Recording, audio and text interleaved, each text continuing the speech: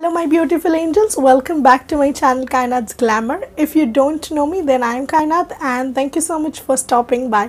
आज हम करने वाले हैं ये लुक जो आप देख सकते हो मेरे फेस पे। आप सोच रहे होंगे ना मैंने स्काफ क्यों वेयर किया है? बिकॉज़ आई थॉट कि ये इसके साथ बहुत अच्छा लग रहा है। तो इसलिए आप सारी चीज़ें वीडियो में देख लोगे तो ऑफकोर्स आप एंड तक देखोगे तो समझ आ जाएगी। But you are loving the look I personally love the look it turn out मुझे लगा नहीं था कि इस तरीके से टर्न होगा।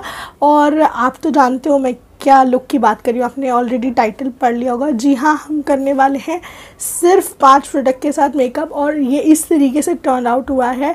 पर्सनली मेरे को बहुत ज़्यादा अच्छा लग रहा है। It is an everyday kind of glam अगर आप एवरी डे वेयर करना चाहते हो प्लस अगर आप हाइलाइटर वाला ग्लो पसंद नहीं करते हो you don't like that sheen you like matte thing then this is your kind of look because हमने इसमें बिल्कुल भी हाईलाइटर्स यूज़ नहीं किए and you can see such a nice glam still such a nice natural glow still on the face तो ज़्यादा blabbering नहीं करेंगे और सीधे चलते हैं वीडियो की तरफ़।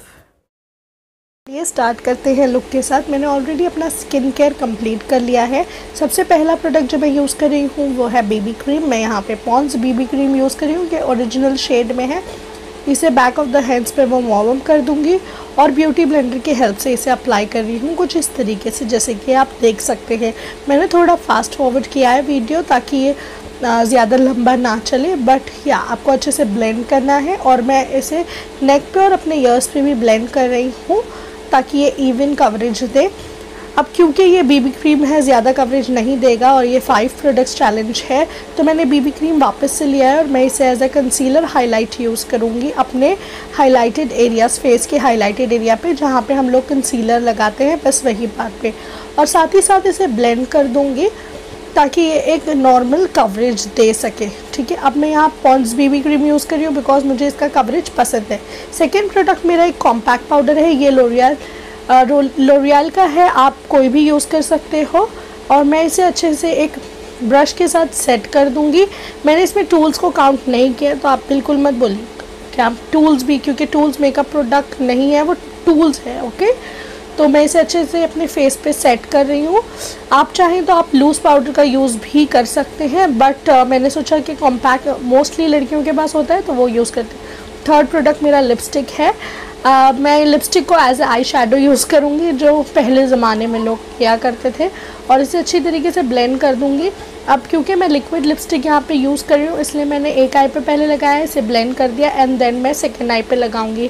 मैं सिर्फ़ लिट पे अप्लाई करके ब्लेंड कर रही हूँ दैट्स इट क्योंकि क्रीज पे नहीं होगा वैसे। मैं लिपस्टिक को अपने फिंगर्स में ले रही हूँ और इसे लोअर लैश लाइन पे अप्लाई कर दूँगी कुछ इस तरीके से। आप फिंगर्स की हेल्प से ही हम इसे ब्लेंड करेंगे। ये बहुत इजीली ब्लेंड हो जाता है। उसके बाद मैं ब्लश के लिए भी लिपस्टिक ही अप्लाई कर रही हूँ और मैं एक वेट ब्यूटी ब्लेंडर की हेल्प से इसे ब्लेंड कर रही हूँ। आप मेक श्योर sure कीजिए जब भी आप लिक्विड लिपस्टिक यूज़ कर रहे हो ब्लश के लिए आप इसे जल्दी से लगाए और ब्लेंड कर दे। आप दोनों चीक्स पे लगा के मत रखिए, वरना वो सेट हो जाएगा।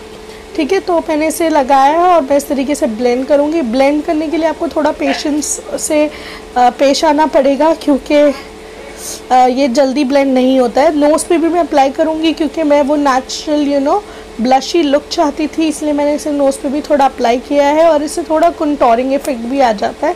पिंकी कंटोरिंग इफ़ेक्ट आता है, पर ये बहुत क्यूट लगता है। और इसी को मैं as a lipstick of course use करूँगी। तो मैंने एक ही लिपस्टिक को एज आई शेडो ब्लश और लिपस्टिक यूज़ किया है। तो आप भी वो कर सकते हो। ज़रूरी नहीं आपके पास सारे प्रोडक्ट्स होने ज़रूरी है।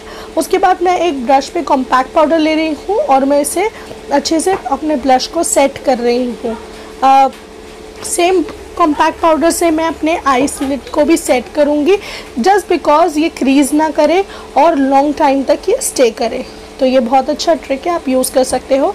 हाइलाइटर नहीं यूज़ कर रही हूँ, इसलिए मैं कॉम्पैक्ट पाउडर से ही अपने इनर कॉर्नर को हाईलाइट कर रही हूँ और ब्रिज ऑफ़ द नोज़ पे भी मैं कॉम्पैक्ट पाउडर से ही हाईलाइट कर रही हूँ। तो आपको बेस मैट तो दिखेगा बट हाईलाइटेड पार्ट्स भी दिख कर आएँगे।